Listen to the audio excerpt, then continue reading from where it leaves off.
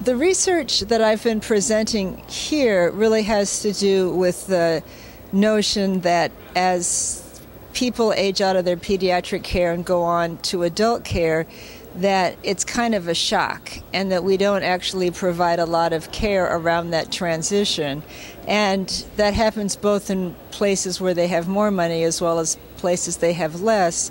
But in my community, the one I'm studying, it's an underserved community in Los Angeles where people get lost to care. They end up having no health care and end up in terrible shape from their diabetes. So my research has been both to characterize the difficulties with transitioning care as well as to study programs that can help that occur more effectively.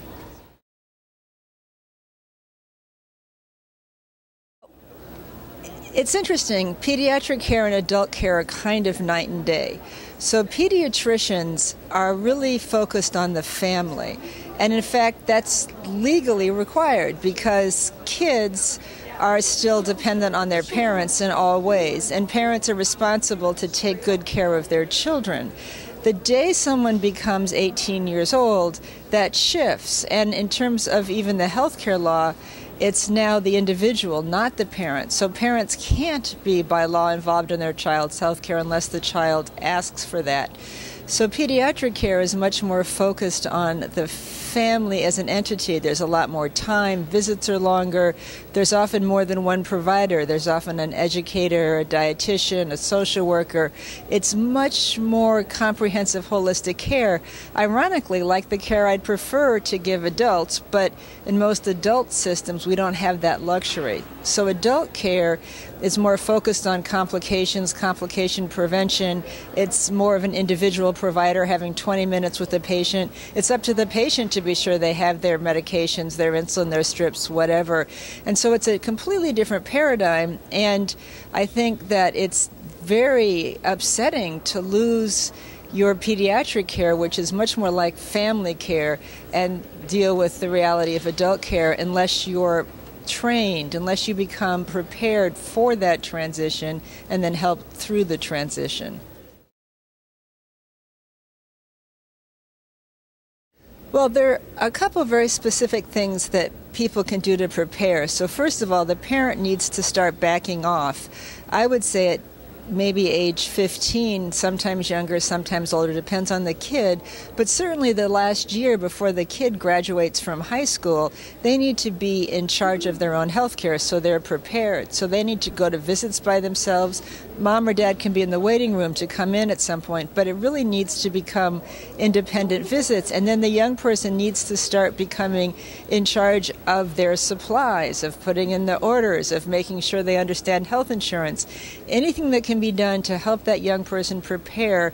And ideally, the pediatrician will also be working on that preparation, the separation, the change. It's very important that the pediatrician work with the family to identify the next healthcare provider. And whether that's someone that's a friend that they know that's working in another city where someone may be going to college or where the young person, um, even within that community, so they're staying in the same town, working to try to find out where the next care should be. Sometimes pediatricians take care of young adults up until their mid 20s. But if a change is going to happen geographically or a change need to happen because of the institution, identifying the next step, the next place for care is very important. And finally, the parent should really ask for a summary, some sort of whether it's done in a very formal way or an informal way, something that they can then give their young adult to hand to the next place that says this is the sort of issues we were working on. This is the care that needs to be provided in the future. So there's a bridge between pediatric and adult care.